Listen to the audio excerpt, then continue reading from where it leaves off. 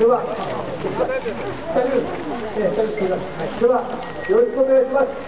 はい、どうも、えー、大津市長から、えー、来ました、大津市白山空舞と申します。えー、この南部神社再建の方も、まあ、あのこれまでコロナの影響もあって、えー、あのこういったその競演会の方は中止というふうにあの伺っておりましたけれども、まずまず今年はまあ開催ということで、えー、大津市から、えー、ドラマを表彰しにやってまいりました。それであの実はですね、12年ぐらい前に、あの3年続けて震災前にあのこの境内で、えー、この例大祭の際に奉納させていただいておりましたけれども、まあ、震災などのそういった影響がありまして、あのまあ、今回が12年ぶりと、えー、12年ぶりの奉納というふうになってございます。まあ、我々としてもですね、まあ、震災の時に、非常にその友の皆さんにはお世話になりまして、えー、今を迎えているわけですけれども、まあ、その、えー、心からの感謝の思いと、そして、えー、このコロナの早期退散を願って今日ドラマを披露したいと思います。それでは、えー、今日皆さんにご覧いただく演目はですね「遊び虎」「ハネトラ」そして「笹波」えー、この3つの空舞の演目に加えて手踊りをご紹介したいと思います、えー、まずは、えー、遊び虎、ハネトラ、笹波3つ続けてご覧ください。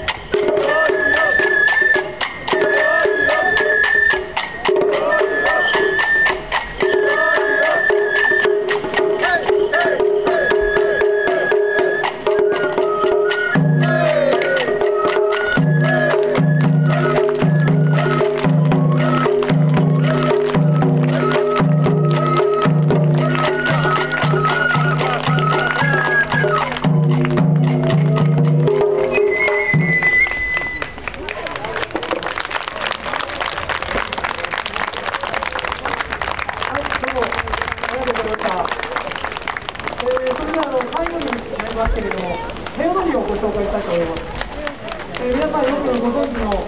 えー、民謡の南部、えー、パワー銀座、それから大量節ですね、この2つをご覧になっていただくわけになりますが、大変めでたい、えー、舞でございます。まあ、本日、この会場にいらっしゃる皆さんの、えー、今後のご健勝を記念しまして、またコロナの収束を願って舞を披露したいと思います。それでは大量買い込み南部河原住まいよろしくお願いいたします